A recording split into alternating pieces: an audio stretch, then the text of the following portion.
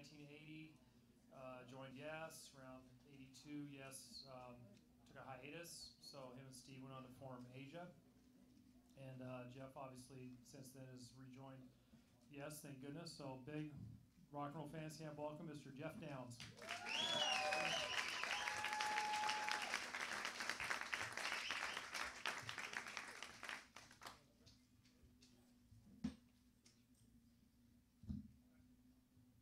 Hello, folks. Hello.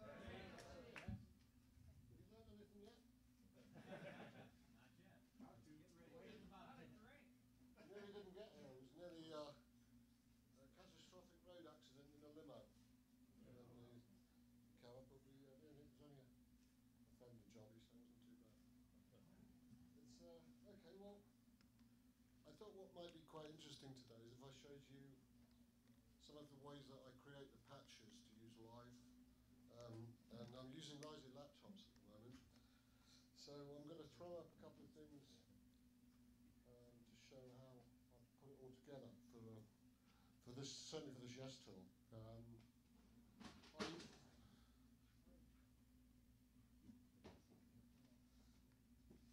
don't know if any of you are familiar with this is called uh, Main Stage. Um, it's only about 200 bucks, but it can create uh, amazing sounds just, just with a laptop. Um, and this is what I use to create a lot of the, uh, the older analog synth stuff. So for instance, this is a patch I put together for Parting Close to the Edge, which is, let's put that up now using, using a called SampleTank, which is a simulation of a mellotron. That part,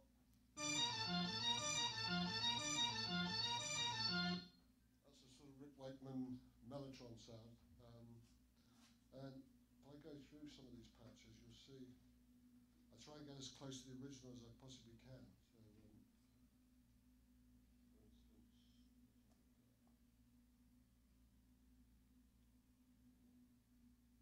This is a built-in uh, module. You see, just there's the piano piano string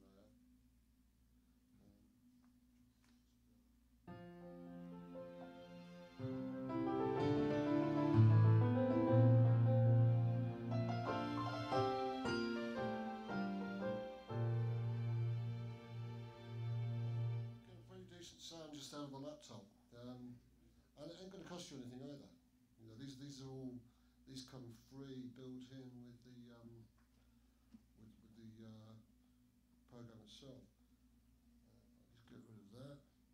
I'll just take you through a few of the sounds that I use live at the moment for uh, this, the, the three album show that we've been doing. Um, this is an extreme. I'll just show you this. This is quite a complicated patch because it's got four different elements. What you can do is you can see here these four channels I've got layered across the keyboard. So down here is the bass synth. That's just on this patch here. You see where it's coming on the keyboard. That's using this synth, which is a software synth. So I've got that split to there, and then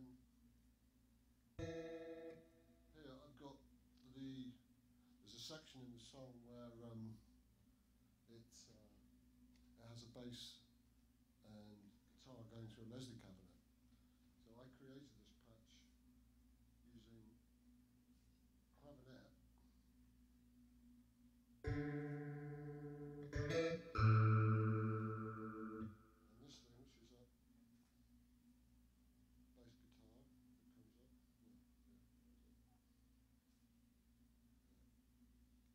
that's, this is not a, um, this Trilian is not a, um, uh, it doesn't come with a, the logic system, it comes with uh, separate, uh, you buy it separately as a piece of software.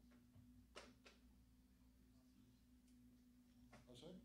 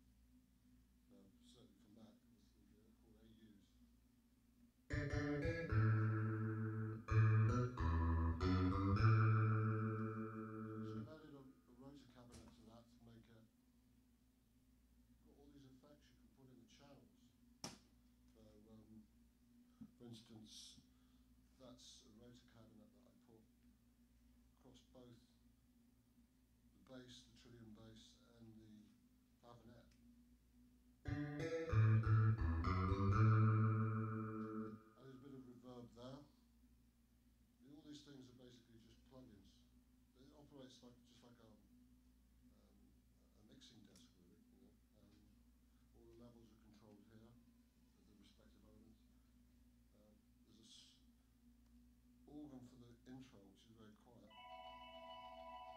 Front of Andrew and I, while Steve plays his um, uh, introduction piece.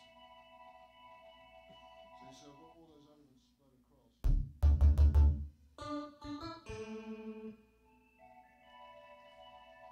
All the set levels. Um,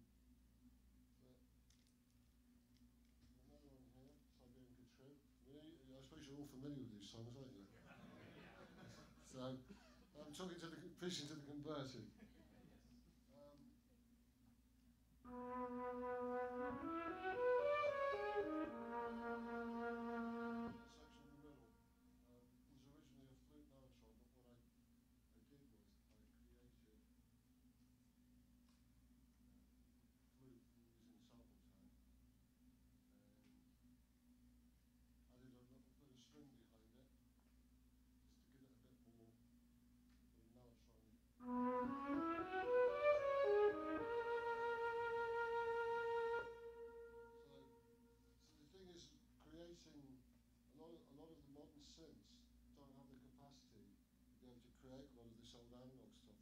so, um, I suppose, it, you know, in many ways it, was symptomatic symptomatic of, of, the, of the music at the time, and um, uh, being able to, to do this kind of stuff on a, on a laptop's pretty, pretty amazing. You know, it never ceases to amaze me that we can create all these.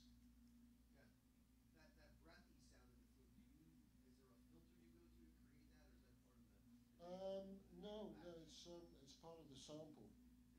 Yeah, but the thing is, as I take it further down, because it goes out of sample.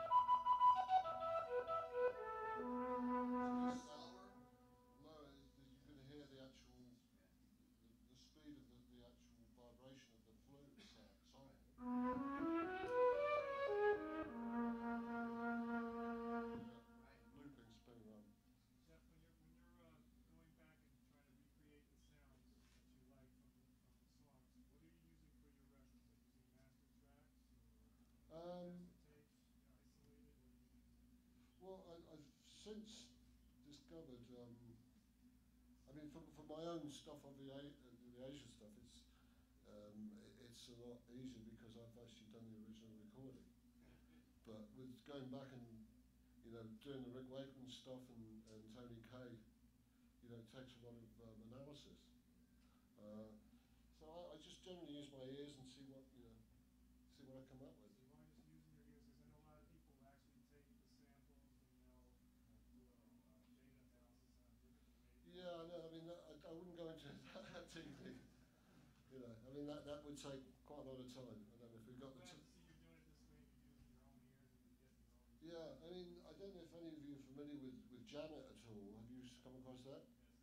Um, and that was um, an enormous help being able to isolate uh, certainly Rick Wakeman's keyboard parts on, on some of the early Yes recordings. Um, and, and that was that was very helpful in because you can you know you've got the keyboard track as an isolated thing rather than trying to hear it off a stereo mix. Um, I've got a couple of other things I'll play you here. Um, seeing all good people. Um, what I did was here I created a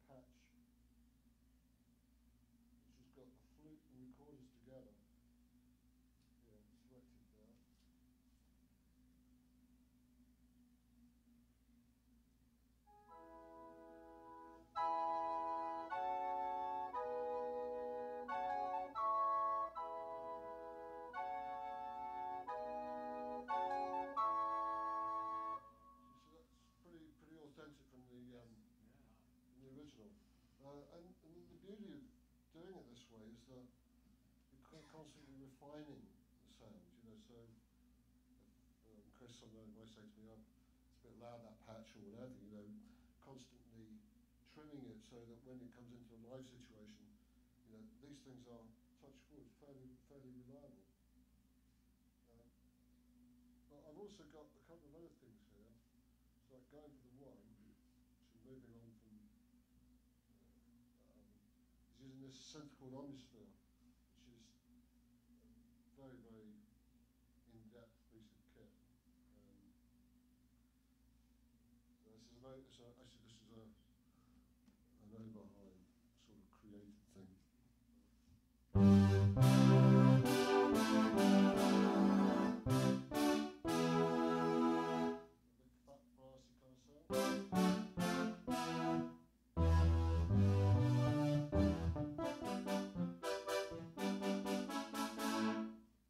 A useful device. This, I mean, it costs a couple of hundred bucks, but I mean, all the sounds I'm playing you more than probably five hundred dollars in total, you know, to, to, put these things. And they're all very, very straightforward. Um, so what, what happens is in a live situation, I've got a box that sends a MIDI change to um, to this, and it will just literally, I just send the MIDI change, and it just flip into the next program like that. So each song, I mean, Post the Edge is you know, so long anyway, it uh, merits four different patch changes, but generally speaking, um, they'll just change like that with the flick of a button. So it's an instant setup for, uh, for each song. Is this the source you use on stage, Yeah, right there? yeah.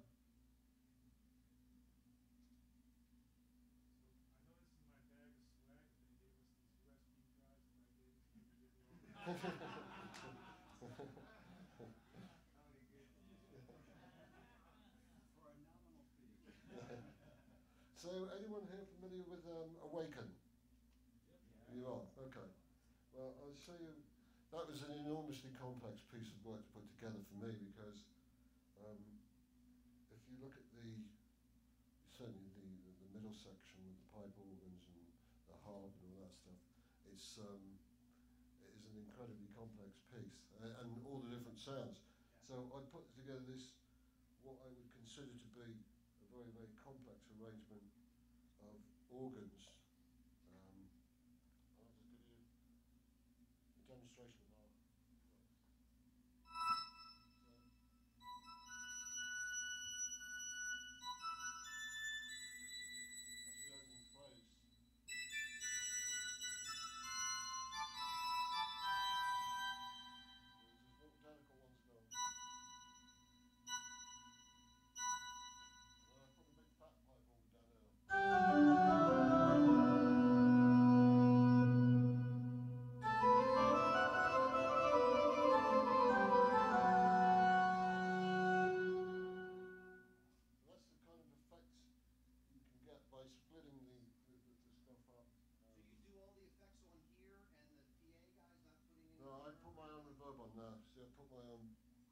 There, which is a sort of called a, uh platinum platinum reverb. It's all bonded with the um, with the program. So, so yeah, I mean, you know, to give it the authenticity of being in a church. You Yeah. do the Same exact thing. Um, um,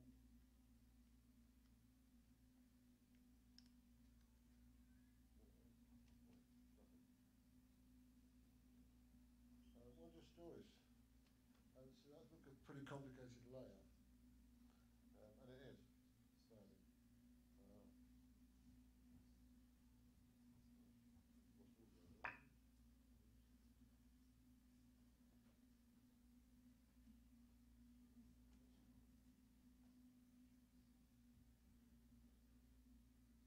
Audio's gone down here. I'll go to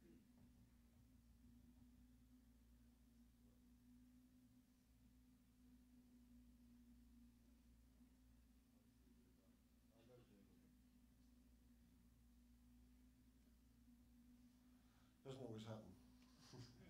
uh, hopefully not during the show. Has it ever happened during the show? Occasionally, yeah. Yeah, the, the, I mean, you know, they've largely when you're running the third-party plugins, it's generally okay if you're just running the internal Logic ones or the main stage ones. They run fine, but there's sometimes there's a kind of um, a disparity between the, the, you know the way that they've been put together. But, What does the band do? Do they say, uh, Matt, do that? Sorry? When it happens, does the band, do, how do they react? Or Is that like, they, they meant to do that? um, not really. Go to the backup. Okay.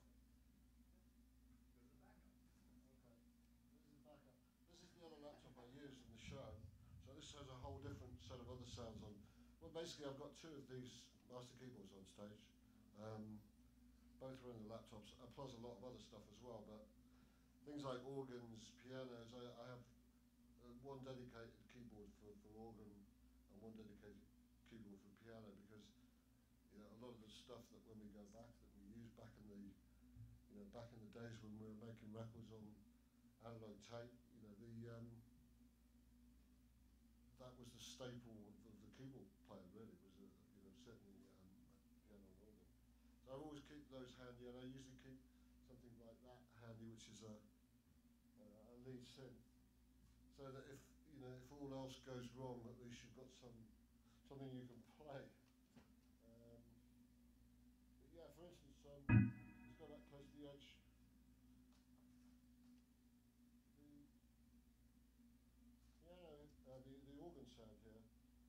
um, again is an inbuilt one on the uh, on uh, Logic.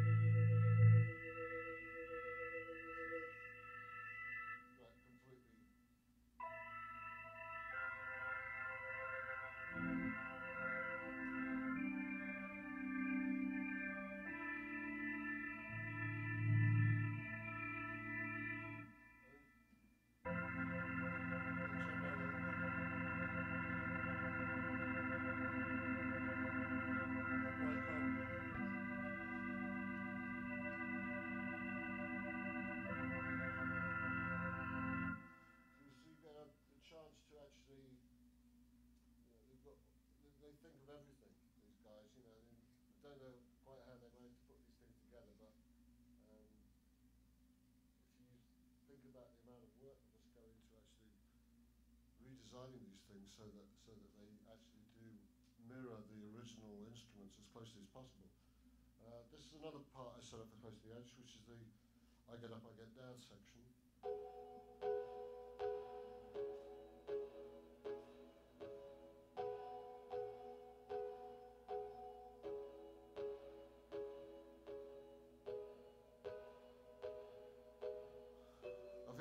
Jammit file on this, there's actually a mistake in the um, original part that Rick Wakeman plays because he goes he goes to the wrong part at one point. He goes um, he does that he obviously thought it was going to the, the I get up, I get down section, but it's definitely there on the original recording. The um, the, the fact that he actually went to the wrong chord. Um, so that's quite an interesting thing. The interesting things that you learn from Jammit is, you know, you think these guys are absolutely perfect, but you know, there's a slight area where they're not.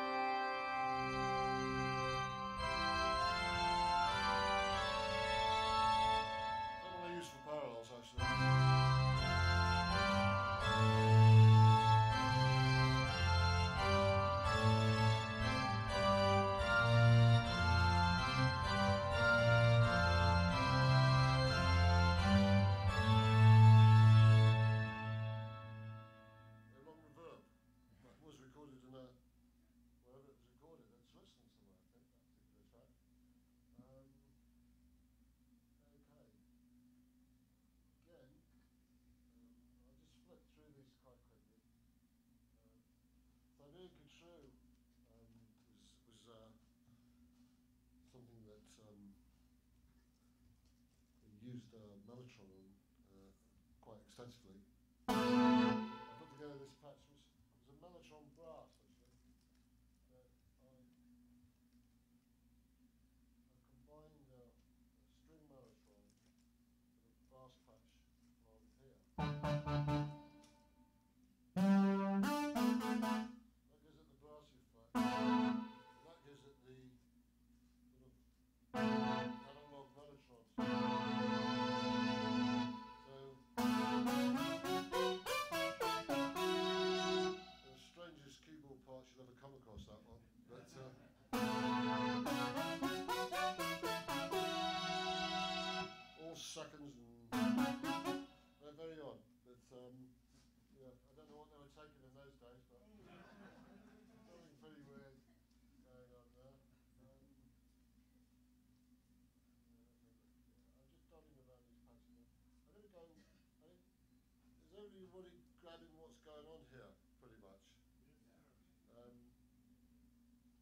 Maybe I'm going too quick for some people, or or, uh, or losing people along the way.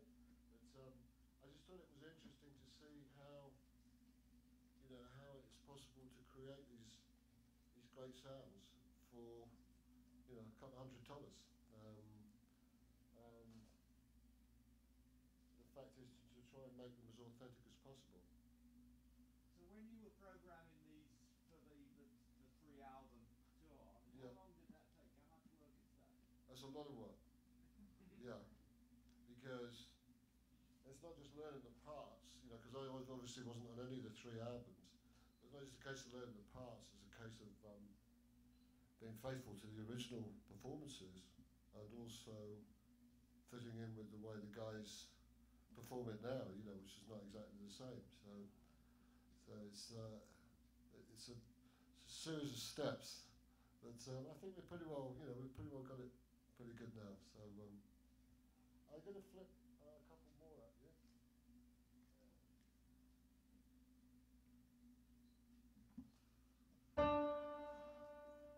This is always my nightmare playing the intro of Awaken because it's really weird.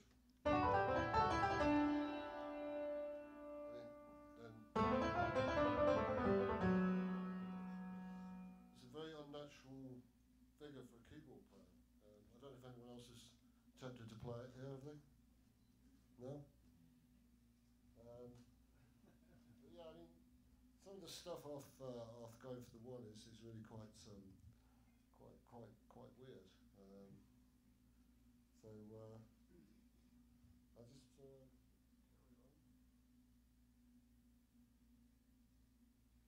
But uh, virtually any sound you want can be created.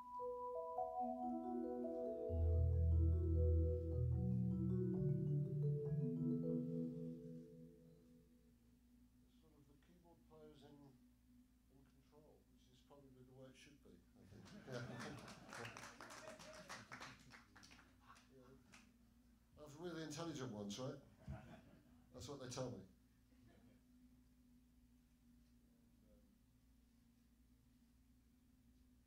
What I'm going to do now is I'm going to flip. I'll show you. I'll show you um, a couple of uh, Buggles things that I put together, um, which might interest you. Uh, just give me a minute and um, we'll get onto it.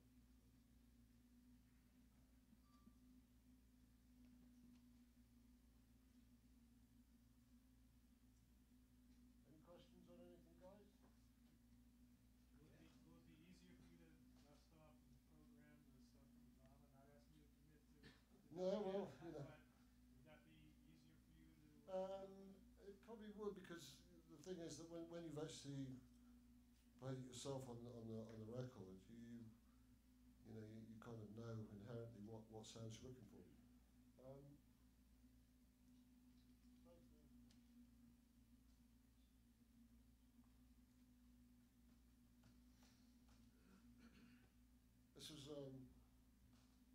show that I did with Trevor a couple of years ago, Trevor Horn, as you know.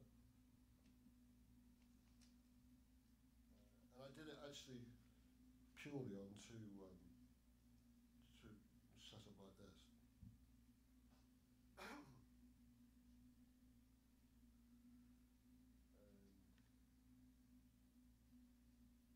but it's possible, you know, you don't need, I mean, you know, and I took that arsenal keyboards I choose.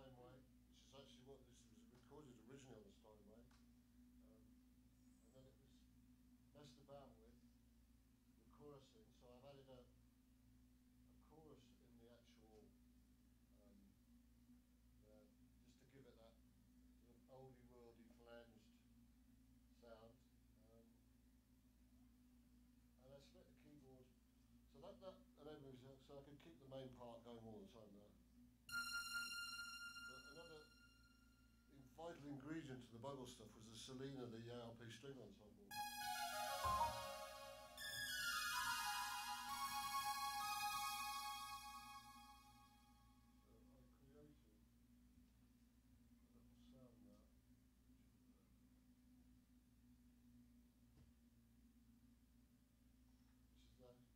That's a cool Solina strings, funny enough.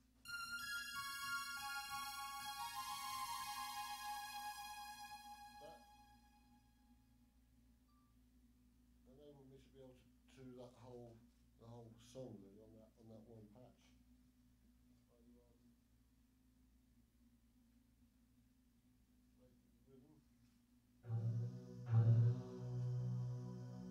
This was actually a sample of the original.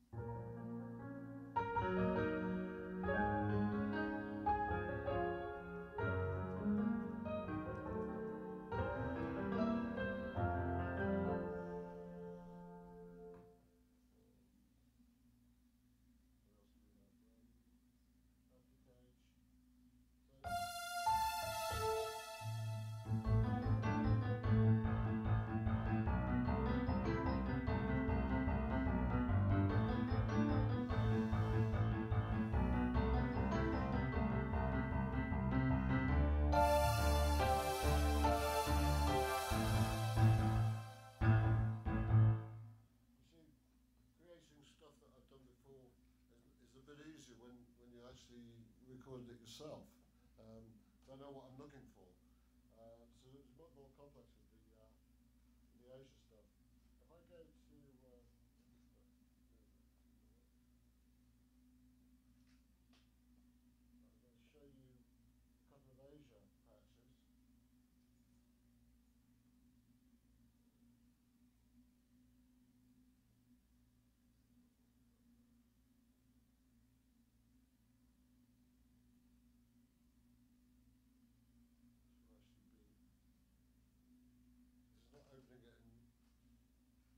featured MainStage as opposed to Logic, what I'm doing is I'm opening um, a similar program called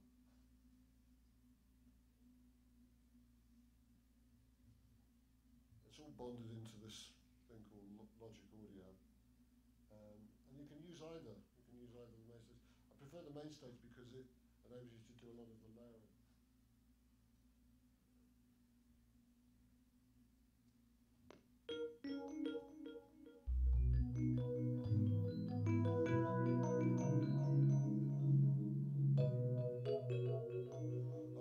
water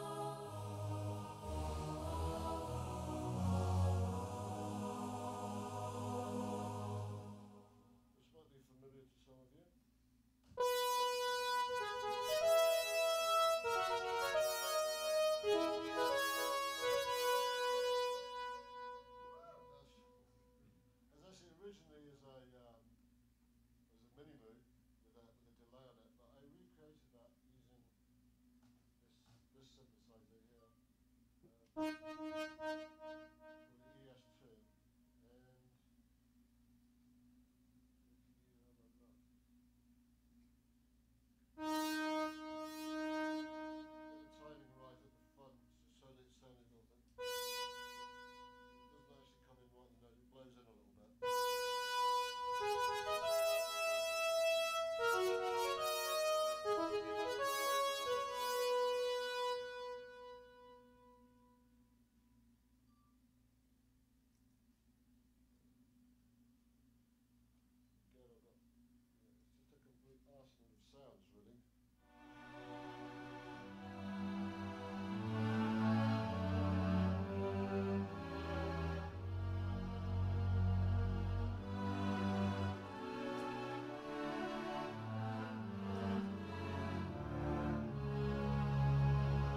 That's the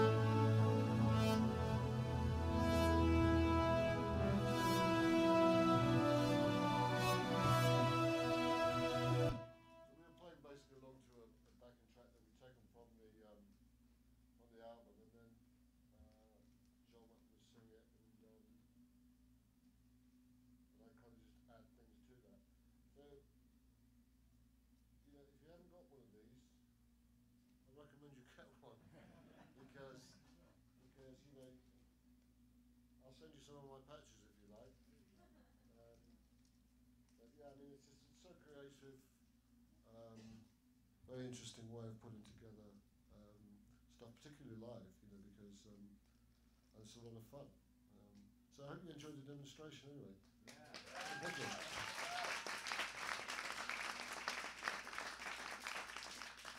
So who's going to be playing with us then today? Okay. And what numbers are we going to be playing? I'd love to do an you and I with you. You want to do that? Yes. Okay. We'll do that one. Any others? And when are we going to start this, uh, Aaron? So everybody's gonna head back to their rooms now, All right.